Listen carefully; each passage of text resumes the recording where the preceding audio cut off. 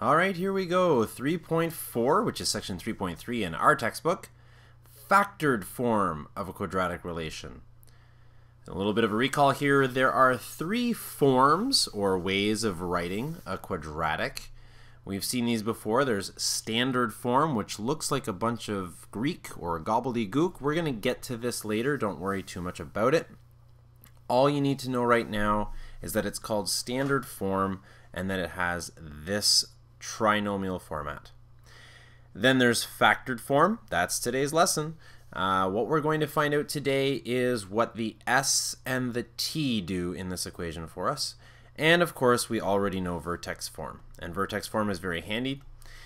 It gives us the following information as a quick recall.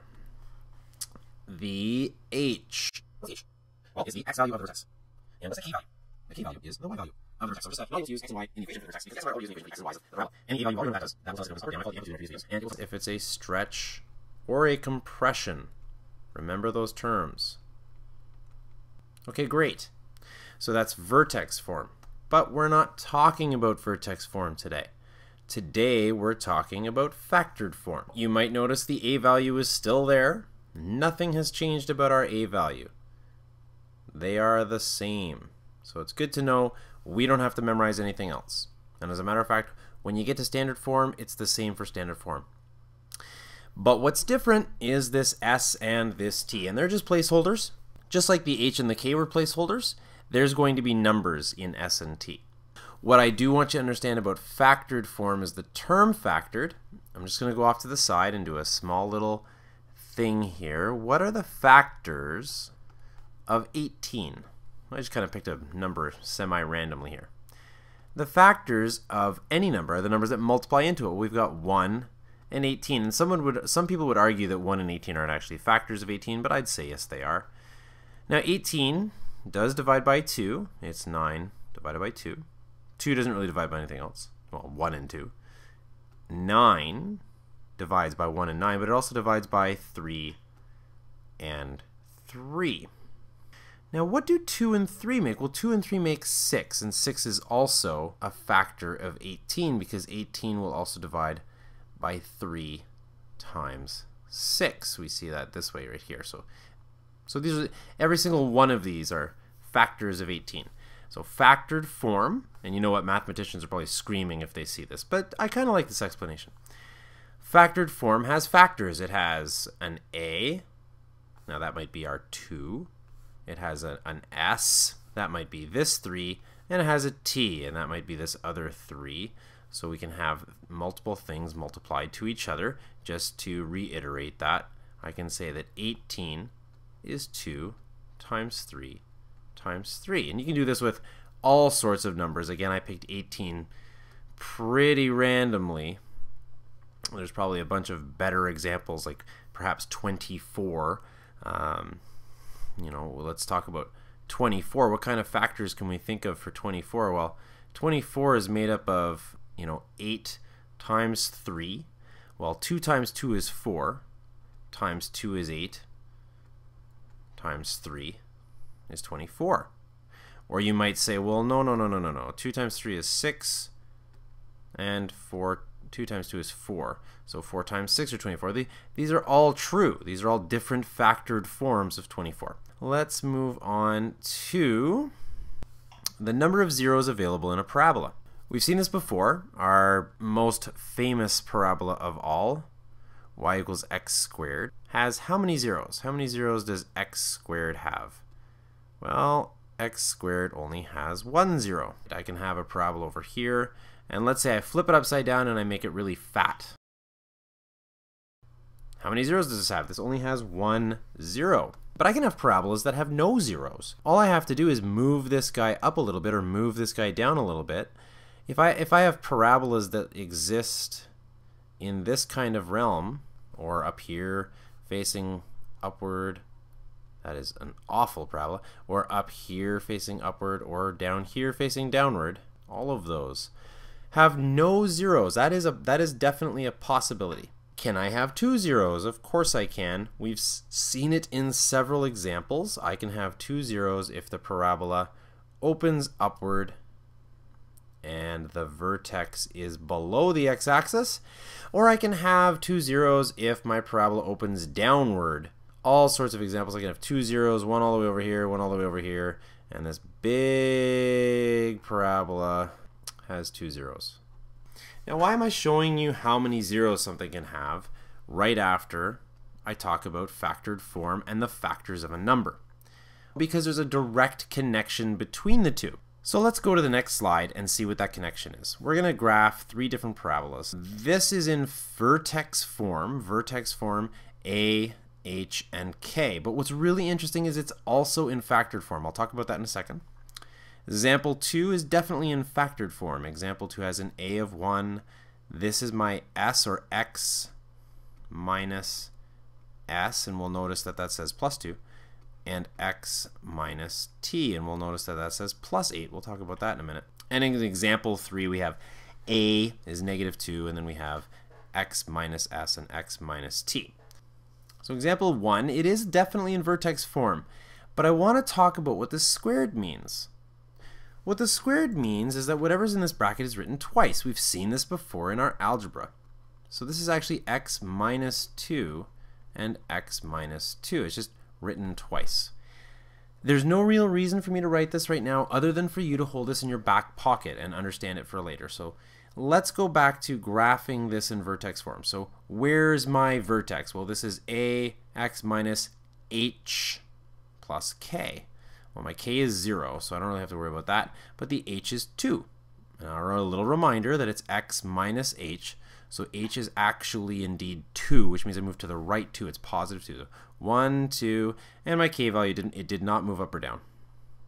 What's really nice about this example is that a is just your normal 1, and so I can just draw the normal parabola 1, 2, 3, 4, like this. Nothing particularly fancy about that, but this is at an x of 2. Example 2 is in factored form.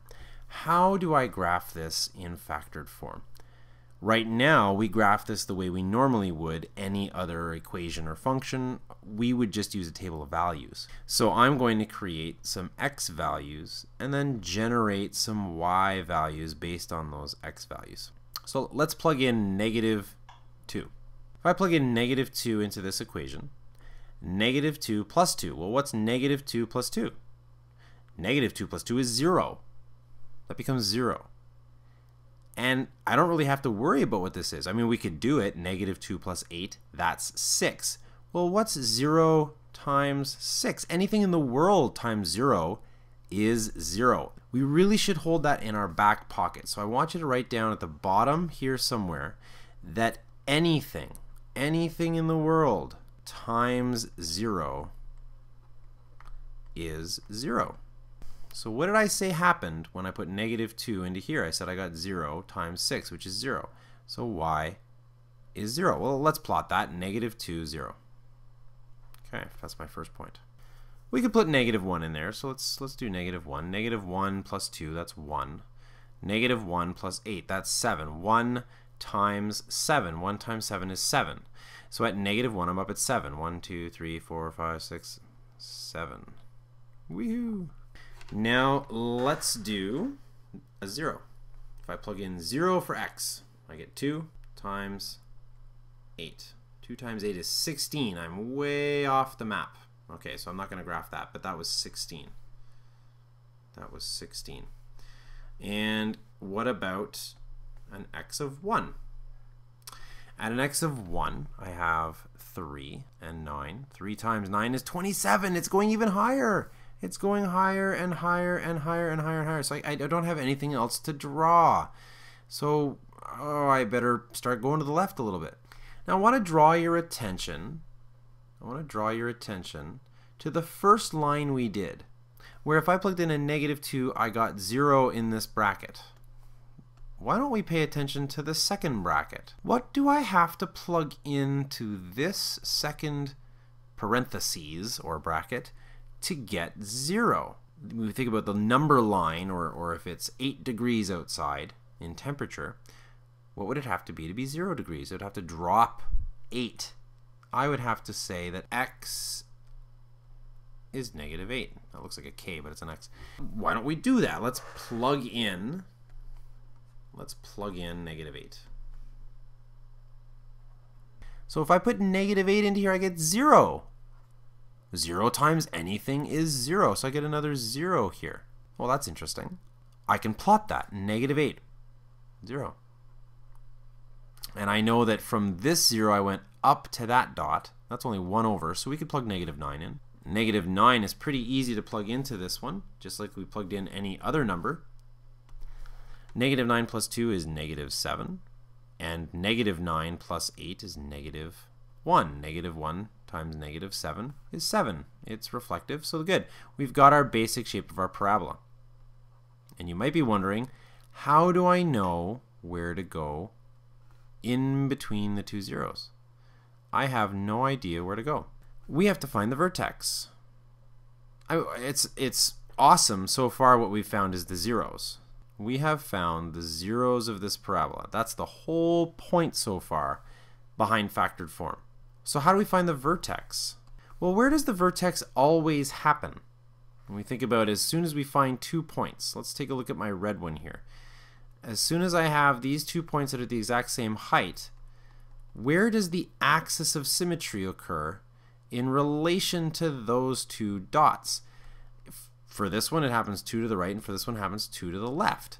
We have a term for that. It's called in the middle, or the midpoint. So what I need to do is I need to find the midpoint between any of the two dots on my parabola. Why not do it with the zeros? Well, I, I said that my zeros are at negative 8 and negative 2. Because we're on a graph, it's very easy for us to count to the middle between negative 8 and negative 2. But there's also math that can be done there. We, we've already done it before with our midpoint equations. I want to recall what the midpoint of two dots is. The midpoint of two dots is the x values added up and divided by 2, and the y values added up and divided by 2. Well, the y values are 0, so that's pointless. But the x values are what's important. Let's add these up and divide by 2. Negative 8 plus negative 2. It's pretty easy to add up. That's negative 10. And negative 10 divided by 2 is negative 5. So negative 5, 2, 3, 4, 5. We saw that visually anyway, but we did it mathematically. And that's where the axis of symmetry is going to be for this particular vertex. Oh, sir, I don't know how to find out where the actual vertex is. How, how low do I go? How, low, how, how far down do I go? You've heard me sing it before, and I'm going to sing it again. Plug it in, plug it in. I have an equation. Let me erase this stuff here. I have an equation. I have an x value. I don't, I'm not searching for an a value. I know what it is. I'm searching for a y value.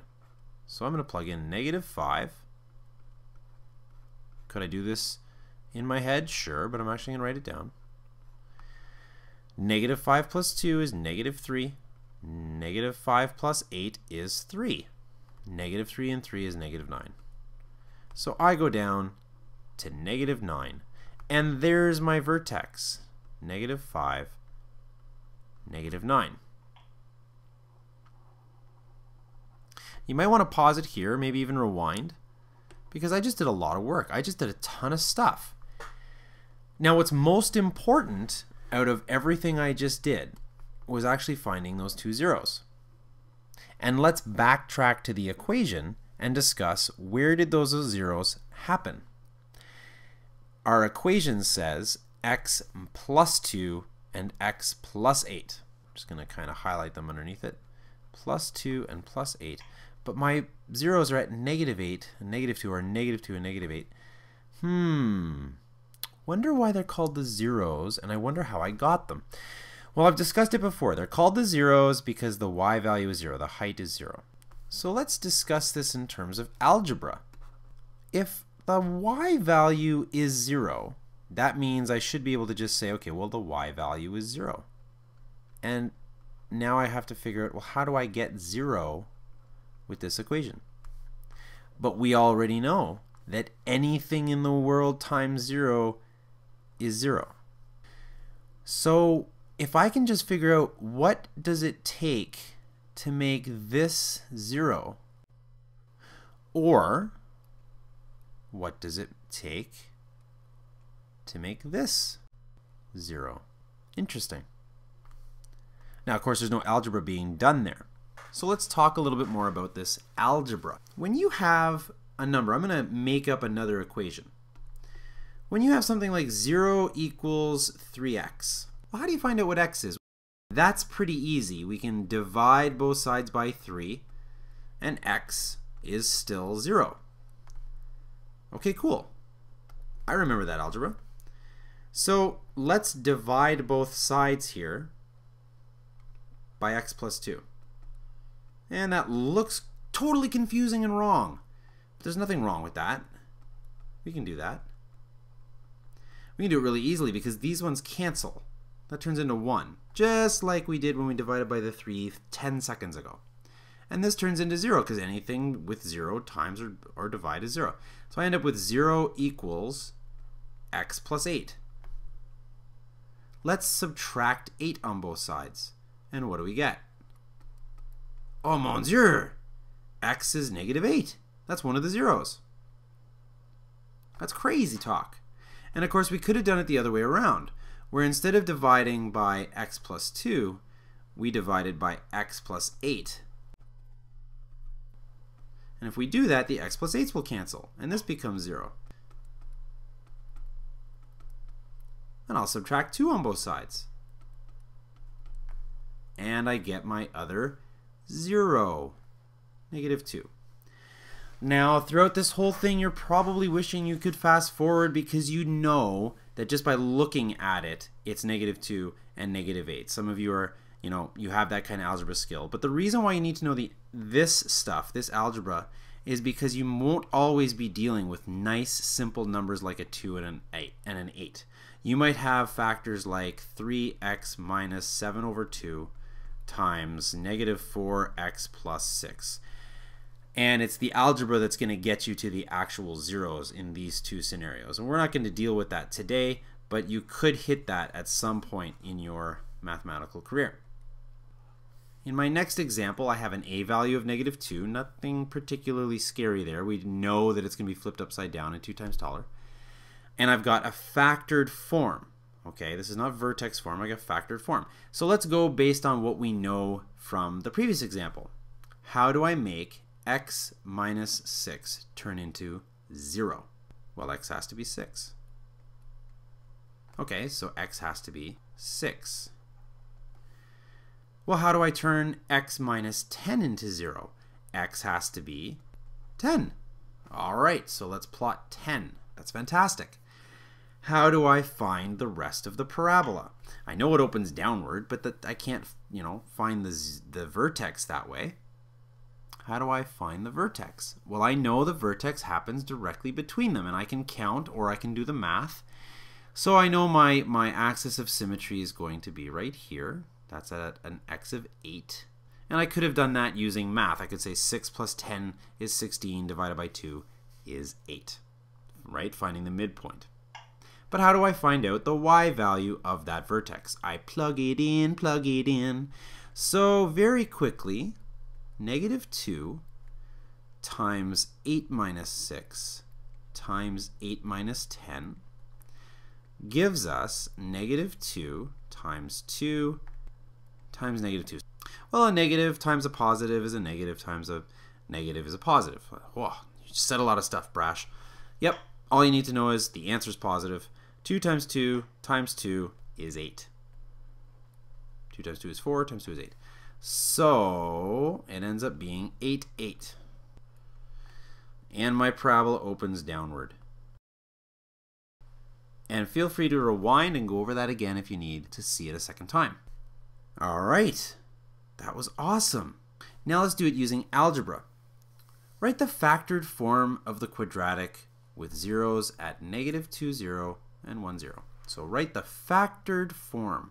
And you know, I've taught this a million times where, you know, read it in pieces and do what you see. Write the factored form. I'm going to write the factored form.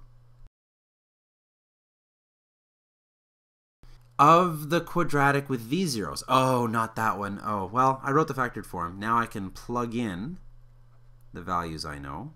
I don't know y, I don't know a, I don't know x. But if this is one of my zeros, what do I plug in? Do I do I plug in 2?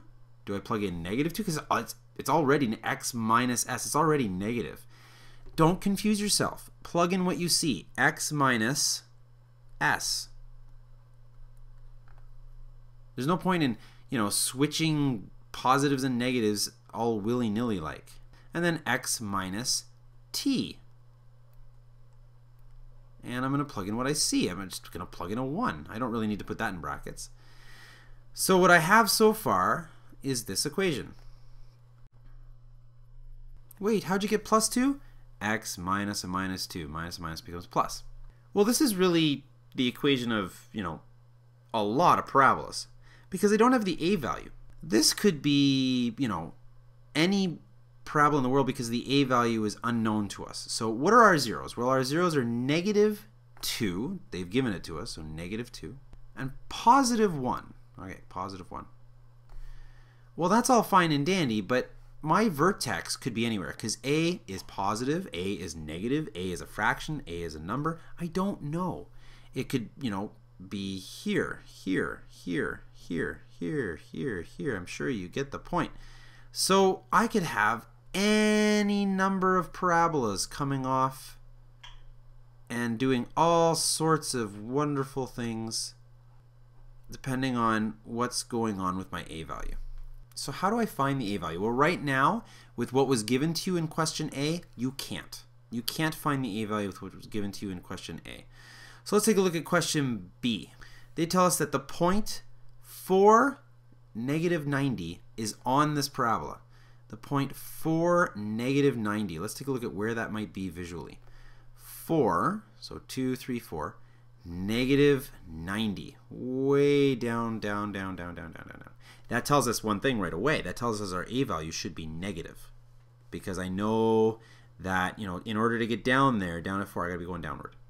But it doesn't tell me what the a value is. So let's take our equation and plug in. I, I, I'm going to sing it. I am. Plug it in, plug it in.